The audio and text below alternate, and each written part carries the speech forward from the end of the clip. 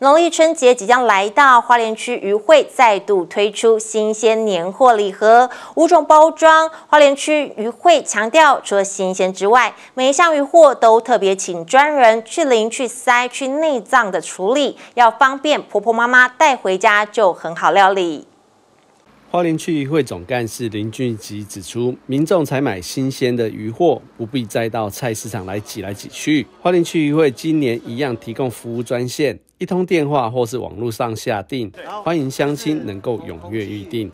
新鲜，他一一来到我们渔会这边的话，我们就是三斤去鳃，然后去内脏，然后去鳞，哦，然后马上，然后呃以真空先真空包装，然后马上急速冷冻。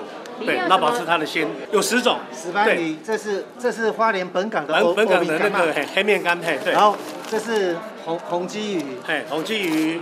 然后琵琶琵琶鱼。鱼排。鬼。然后鬼头刀鱼排。鱼排。然后有黄黄黄鲫鱼。黄鲫鱼。大概这一箱的话，在市价都要在三千五。那我们就是回归相信的话，因为。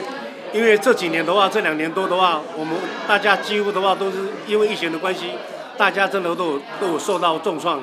然后我们就是希望说，把这个价钱能够压低下来，然后能够薄利多销，然后让我们花莲乡亲大家都能够吃到新鲜的鱼货，然后过好年。所以多少？